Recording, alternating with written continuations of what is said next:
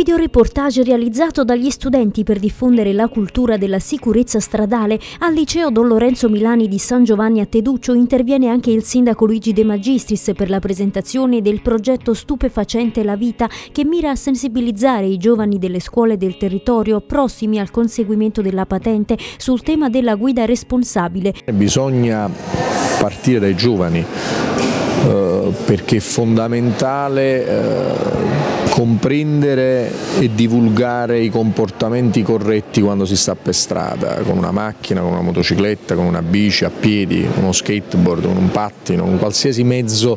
di locomozione, anche perché i ragazzi della nostra città utilizzano mezzi vari, quindi è bene essere consapevoli per la propria salute e per la salute degli altri che ogni giorno incrociamo nella nostra vita. La campagna è promossa dal Comune e finanziata dal Dipartimento per le politiche antidroga della Presidenza del Consiglio dei Ministri per informare sui rischi che derivano dal consumo di alcol e sostanze stupefacenti sempre più spesso causa di incidenti stradali. Negli ultimi quattro anni oltre 4.000 guidatori sono stati controllati dalla Polizia Municipale di Napoli, di questi circa 900 sono risultati positivi al test dell'alcol, un centinaio alle droghe. C'è una stretta correlazione proprio negli incidenti più gravi tra l'uso di sostanze alcoliche e l'uso di sostanze stupefacenti quando ci troviamo appunto in presenza di incidenti eh, mortali oppure con conseguenze gravi. Il progetto Stupefacente la vita ha coinvolto anche personale delle forze dell'ordine, dell'Università Federico II e della Croce Rossa Italiana. Fondamentale il contributo dell'unità operativa radiomobile e infortunistica stradale della Polizia Locale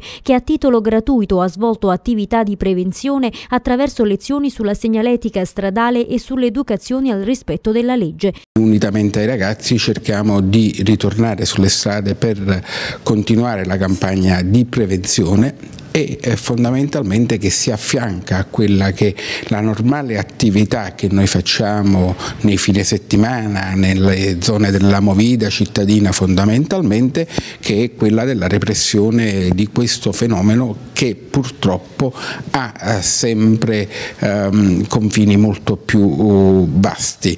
Aver stipulato un accordo di rete, un protocollo d'intesa con il comando di polizia locale municipale è una ricchezza ulteriore, una risorsa aggiunta che ha permesso ai ragazzi di percorrere quei, quei mm, curricoli di, formativi di educazione alla legalità e alla sicurezza in un modo più arricchente. La proiezione del videoreportage realizzato dagli studenti del liceo Don Lorenzo Milani è stata accompagnata dall'esibizione dei ragazzi del laboratorio musicale ed ha visto ospiti Marcello Colasurdo e Sasà Mendoza.